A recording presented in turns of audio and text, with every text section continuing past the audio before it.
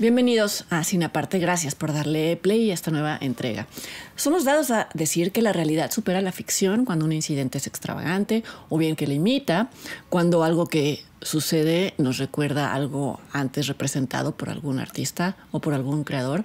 Y aún así creo que muy pocas veces esto ha ocurrido con la precisión con la que ocurrió el pasado 3 de febrero, el día en que un tren que transportaba químicos peligrosos, se descarriló a la altura de una pequeña comunidad en Ohio, en Estados Unidos. Las autoridades temieron que el derrame de estos químicos provocara una explosión eh, imposible de controlar y entonces decidieron evacuar a los habitantes de la comunidad y entonces ellos llevar a cabo una, una explosión controlada. De todas maneras, esto creó una nube tóxica gigante, para nada dejó tranquilos a los habitantes de Palestina del Este, Ohio. Y ya varios han reportado efectos secundarios y no dejan de exigirle al gobierno respuestas claras sobre cómo todo esto va a afectar su salud a mediano y a largo plazo salvo el porqué del descarrilamiento del tren y que en un caso la explosión fue estratégica y en el otro fue espontánea. Esta catástrofe idéntica está al centro de la película White Noise o Ruido Blanco del director Noah Baumbach, eh, la cual se estrenó en el pasado Festival de Venecia y que está basada en la novela homónima del escritor Don DeLillo, publicada en 1985.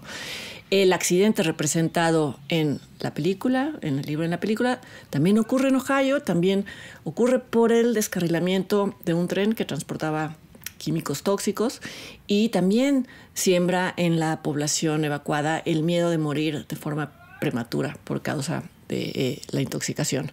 Algo que también ocurre en la película, y esto es importante, es que el manejo de la situación por parte de las autoridades despierta en los personajes la sospecha de que se les está ocultando información crítica. Es importante en relación a la película y a su comentario, en tanto que la desconfianza a los portavoces oficiales y hacia los medios oficiales que difunden información es uno de los temas centrales de Ruido Blanco. Aún antes de que eh, ocurriera el descarrilamiento real de hace unas semanas, ya, ya era interesante notar cómo, a pesar de que la acción de la novela y de la película ocurre en los años 80 y por tanto refleja hábitos, miedos y paranoias de la sociedad estadounidense de fines del siglo XX, muchos de estos comportamientos eh, encuentran su correspondiente en personas del siglo XXI. Esta correspondencia se confirmó cuando ocurrió el incidente del tren, pero todavía más se confirmó con algo que sucedió los días siguientes, cuando el gobierno de Estados Unidos anunció que había derribado objetos voladores no identificados, de los cuales hasta el momento en el que estoy grabando esto no, no se ha dado información precisa. Este segundo incidente dio lugar a la teoría conspiratoria de que todo lo relacionado con los objetos voladores no identificados, incluido el silencio alrededor de su naturaleza, era una cortina de humo, una cortina de humo para no hablar de lo ocurrido en Ohio y para distraer de la tragedia ambiental. Todo esto es algo que perfectamente hubiera encajado en el guion de Ruido Blanco. Algunos de sus personajes eh, hubieran afirmado que los objetos voladores eran un invento para desviar la atención de lo importante. Otros personajes hubieran alentado la teoría de una invasión alienígena, en tanto que otro de los temas de ruido blanco es la seducción que ejercen en las personas las teorías de conspiración, ya sea como contrapunto de los relatos oficiales o porque actualmente eh, las teorías de conspiración, algunas de ellas cumplen la función de las religiones tradicionales, eh, son algo en lo que creer. Esto se plantea de forma casi explícita en el último cuarto de la película, no se preocupen, no voy a dar spoilers, con la aparición de monjas católicas que dicen ellas mismas no creer en el cielo. En todo caso, eh, dice una de ellas, lo que sí existe es el infierno y ese infierno es no creer en nada.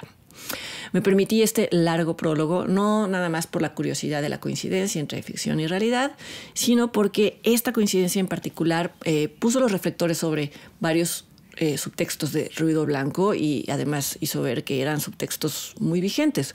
Por un lado, la tesis de que el miedo a la muerte es quizá nuestro mayor denominador común y que este miedo es lo que está al fondo de nuestra avidez por consumir objetos, por eh, fabricar tramas, por atribuirlas a nuestros enemigos, reales o imaginarios. La vida es también por consumir medicamentos o cualquier tipo de menjurje que prometa alargar la vida o por lo menos prometa aligerar la angustia de la espera del momento de la muerte.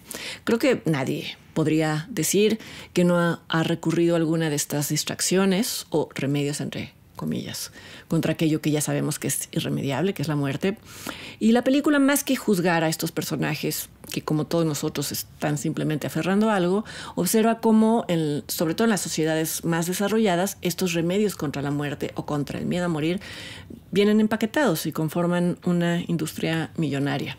Quizá lo único de la película que se siente un poco caduco, un poco fechado en su crítica al consumismo, es que utiliza un supermercado hipersurtido, hipercolorido como ejemplo de un mundo alterno que proporciona tranquilidad. Por supuesto donde Lilo no llegó a imaginar de qué manera la comunicación virtual iba a sustituir la necesidad de refugiarse en búnkers físicos, como el supermercado, o que podría ser también, no sé, un centro comercial, que son lugares que ahora se sienten casi obsoletos, casi ruinas o recuerdos de una época previa. Mucha gente detestó Ruido Blanco por algo que yo creo que más bien es una, una virtud, que es su tono, un tono desmesurado, excesivo, caótico, que juega con el absurdo, y que le quita además a la historia cualquier tufo de reflexión sociológica. La película es dispareja, esto es verdad. Por momentos da la impresión de que sus viñetas corresponden a distintas películas, pero en tanto que es una historia que habla sobre los llamados fenómenos de la posmodernidad, como la realidad fragmentada y los desacuerdos sobre qué cosa es aquello que llamamos realidad, pues entonces los virajes de la película hacia distintos tonos casi son coherentes con, con el discurso, es casi una paradoja. La película además es una comedia y tengo la impresión de que quienes esperaban algo más solemne o más serio de la siguiente película de Noah Baumbach después de Marriage Story se sintieron decepcionados. Aunque este director ya había hecho comedias, esta creo que es la más desaforada. Alguna vez eh, Woody Allen dijo que cuando los directores hacen comedia, se les siente en la mesa de los niños y no de los adultos, y algo de esto sigue siendo, sigue siendo cierto. Eh, hablando de Woody Allen, a Baumbach se le ha comparado con él por sus referencias a distintos autores, a distintos artistas, por ser un cineasta intelectual, lo que sea que eso signifique. Estas referencias a lo intelectual están sin duda presentes en Ruido Blanco, pero desde la sátira, desde la irreverencia total. Por ejemplo, la sátira a la academia, en este caso representada por su protagonista, por Jack Gladney, interpretado por Adam Driver, y por su colega Murray Siskin, interpretado por Tom Cheadle, que son ambos académicos. El primero es una autoridad en estudios sobre Hitler, el segundo es especialista en diseccionar fenómenos que uno asocia con destrucción, como los choques de autos en las películas, en la historia del cine. Él los llama una forma de optimismo. Ah, descrita muy grandes rasgos, la historia se divide en tres partes, en tres capítulos. La primera sirve como una introducción a estos personajes extraños, quizá no tantos o no tan extraños, porque al final todos están haciendo lo que hacemos. La mayoría están intentando racionalizar su angustia existencial. Al centro de la historia está la familia formada por el ya mencionado Jack, por su esposa Babette, interpretada por Greta Gerwig, y por sus cuatro hijos. Ellos viven una vida eh, relativamente tranquila y rutinaria, salvo que la hija menor, Denise, ha comenzado a notar que Babette se ha vuelto muy olvidadiza y ha notado también que consume que toma pastillas escondidas de los demás. El origen de este hábito de Babette y sobre todo el origen de las pastillas va a ser el tema de un tercer acto que tiene tintes oníricos. A mí esto, repito, me gusta, a algunos les puede parecer fuera de lugar. En el acto intermedio, es decir, en el segundo acto, eh, ocurre el llamado Airborne Toxic Event, que es el eufemismo con el que eh, las autoridades llaman al accidente que desprende los gases tóxicos que alarman a la población y que es casi idéntico al ocurrido hace unas semanas en Ohio. Y repito, esto es una coincidencia que, como decía, tiene interés anecdótico, pero sobre todo es interesante porque cierra la brecha cronológica entre lo que ya se siente como lejanísimos años 80 en los que no había internet, en los que no se imaginaba que brotaría una pandemia como la que atravesamos y el presente, el 2023.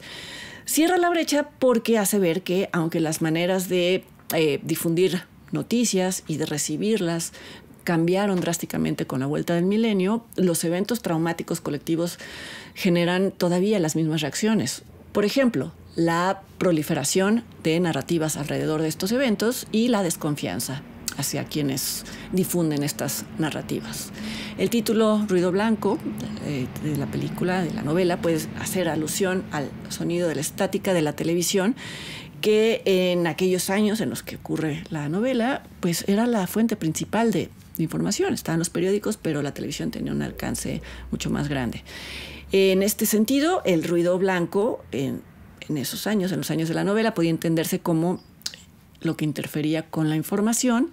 Actualmente para nada es la televisión la fuente principal de información de las personas, pero la connotación de interferencia es vigente. Como ya se sabe, el ruido blanco es un tipo de sonido que se usa para enmascarar o para eh, hacer más tenues sonidos que son más intensos y más definidos. Por eso mucha gente usa el ruido blanco para dormir. Pero llevado a la metáfora, ruido blanco sigue funcionando o sigue entendiéndose como aquello que distrae para bien y para mal. Esta película, eh, Ruido Blanco, eh, dirigida por Noah Baumbach, se puede ver en la plataforma Netflix y yo los invito para que me acompañen la siguiente semana aquí a otra entrega de Cine Aparte. Hasta entonces.